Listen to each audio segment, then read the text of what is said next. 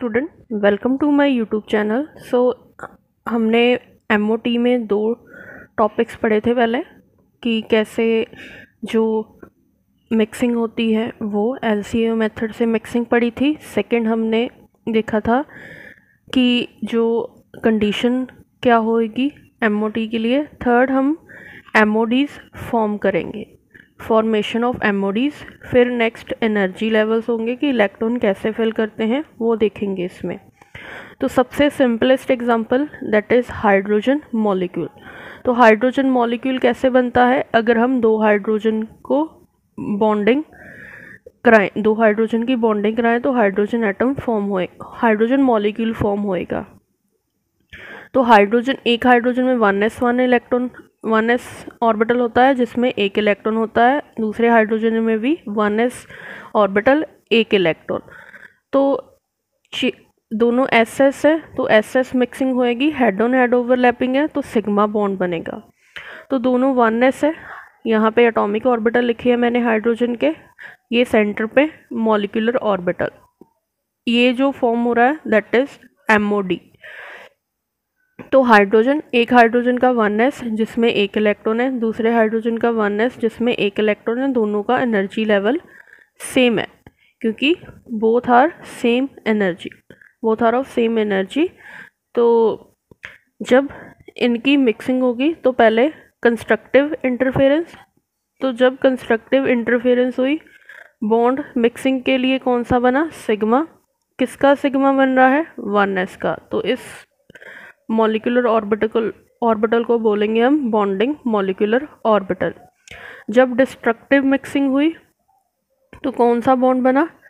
Sigma one S star star ये denote कर रहा है कि ये एंटी बॉन्डिंग मॉलिकुलर ऑर्बिटल है. तो ये तो एमओडी फॉर्म हो गया. तो इलेक्ट्रॉन कैसे फिल करेंगे? टोटल इलेक्ट्रॉन काउंट करने होते हैं. इस साइड एक इलेक्ट्रॉन है, इस साइड एक। तो दो इलेक्ट्रॉन हो गए टोटल। तो अकॉर्डिंग टू पहले हम लोएस्ट लेवल फिल करेंगे। अगर ये फुल्ली फिल्ड नहीं होता, तब हम ऊपर नहीं फिल कर सकते। तो पहले ये फुली फिल्ड होना चाहिए, फिर हम फॉर आगे इसको फिल करेंगे। तो दो इलेक्ट्रॉन है। पहले यहाँ एक इलेक्ट्रॉन फिल होगा, इसकी पेयरिंग होगी। तो दो इलेक्ट्रॉन थे, दो इलेक्ट्रॉन मैंने फिल कर दिए। तो रूल वही होता है कि both are of opposite spin होने चाहिए इलेक्ट्रॉन और पहले लोएस्ट लेवल में फिल होंगे, इनकी पेयरिंग होएगी, फिर नेक्स्ट लेवल में फिल होंगे। तो एक टर्म होती है बॉन्ड ऑर्डर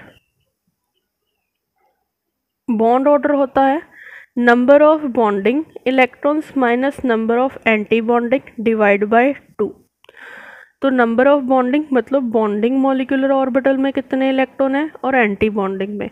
तो यहाँ से हम हाइड्रोजन का बॉन्ड ऑर्डर फाइंड कर सकते हैं।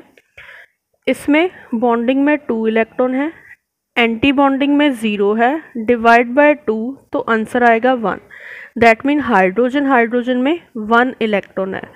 तो एक होता है मैग्नेटिक करेक्टर मैग्नेटिक करेक्टर में हम दो तरह का करेक्टर पढ़ते हैं पैरामैग्नेटिक एंड डायामैग्नेटिक पैरामैग्नेटिक में अगर अनपेड इलेक्ट्रॉन प्रेजेंट हो अनपेड इलेक्ट्रॉन एमओडीज में चेक करेंगे साइड्स में एमओ अटोमिक ऑर्बिटल में नहीं चेक करेंगे अनपेड इलेक्ट्रॉन एमओडी एमओस में चेक करेंगे मॉलिकुलर ऑर्बिटल्स में. डायामैग्नेटिक अगर सभी इलेक्ट्रॉन पेड हो और ज़ीरो इलेक्ट्रॉन हो जो तो यहाँ पे हम देखते इसमें सिर्फ़ पेड इलेक्ट्रॉन है, कोई भी अनपेड इलेक्ट्रॉन नहीं है। तो जो हाइड्रोजन होएगा that is diamagnetic in nature तो पहले हम एमओडीज फॉर्म करते हैं, फिर इलेक्ट्रॉन फिलिंग करते हैं, फिर बॉन्ड ऑर्डर फाइंड करेंगे और मैग्नेटिक करेक्टर तो जो इलेवेंथ और ट्वेल्थ क्लास में जनरली डायटोमिक मॉलिक्यूल ही आते हैं। डायटोमिक मॉलिक्यूल जो होमो अटोमिक हो मतलब जिनमें सेम एलिमेंट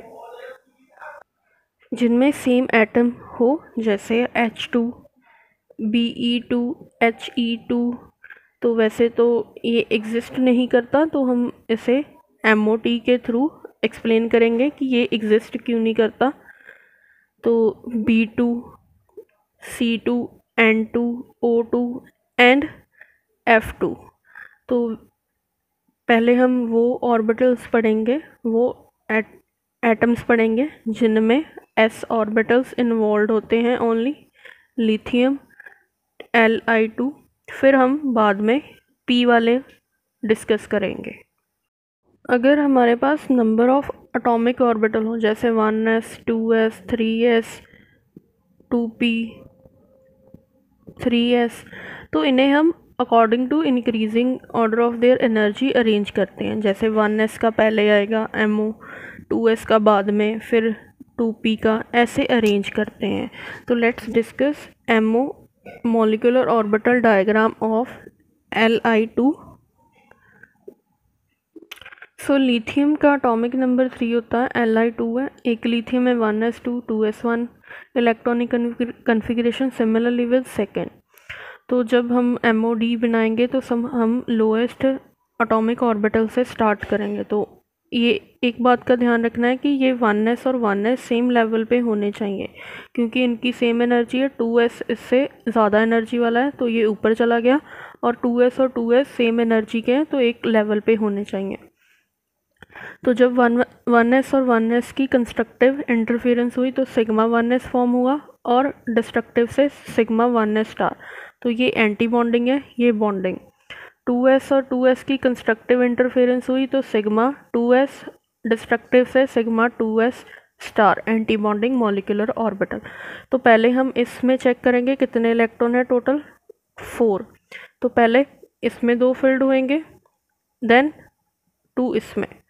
पहले इसकी पेयरिंग होगी फुली फिल्ड होगा, तभी ऊपर फिल करेंगे. तो इसमें कितने हैं टोटल टू इलेक्ट्रॉन वन तो अब हम बॉन्ड ऑर्डर फाइंड करते हैं. Bonding minus anti bonding divide by two तो बॉन्डिंग में कितने हैं? Two and two four bonding में है. एंटी बॉन्डिंग में two and zero two divide by two तो इसमें जो बॉन्ड ऑर्डर हो गया दैट इज़ वन लिथियम और लिथियम में वन बॉन्ड फॉर्म होता है. तो यहाँ पे कोई भी अनपेड इलेक्ट्रॉन नहीं है तो ये पैरामैग्नेटिक इन नेचर। तो पैरामैग्नेटिक होएगा। नेक्स्ट हम डिस्कस करते हैं बी ई टू तो वो देखेंगे एग्जिस्ट करेगा कि नहीं। अगर बॉन्ड ऑर्डर ज़ीरो आता है तो मतलब वो मॉलिक्यूल फॉर्म नहीं होता। Case of B E two तो ब्रिलियम की configuration one S two two S two होती हैं। दोनों ब्रिलियम की सेम होगी। तो वन एस में टू इलेक्ट्रॉन है वन एस में टू इलेक्ट्रॉन है। ये अटोमिक ऑर्बिटल है। ये मॉलिकुलर ऑर्बिटल है। तो वन एस की जब कंस्ट्रक्टिव इंटरफेरेंस होगी तो bonding molecular orbital anti bonding की high energy similarly with two S तो इधर भी टू इलेक्ट्रॉन है और इधर भी टू तो इधर कितने हो गए? इलेक्ट्रॉन फोर तो ये फोर इलेक्ट्रॉन फिल कर दिए। इधर भी फोर है तो फोर इलेक्ट्रॉन अब बॉन्ड ऑर्डर फाइंड करेंगे। बॉन्डिंग माइनस एंटी बॉन्डिंग तो बॉन्डिंग में two plus two, four, anti bonding में two plus two, minus four divide by two तो zero divide by two is zero. That's why B E two exist नहीं करता B ई में bond form नहीं होता। तो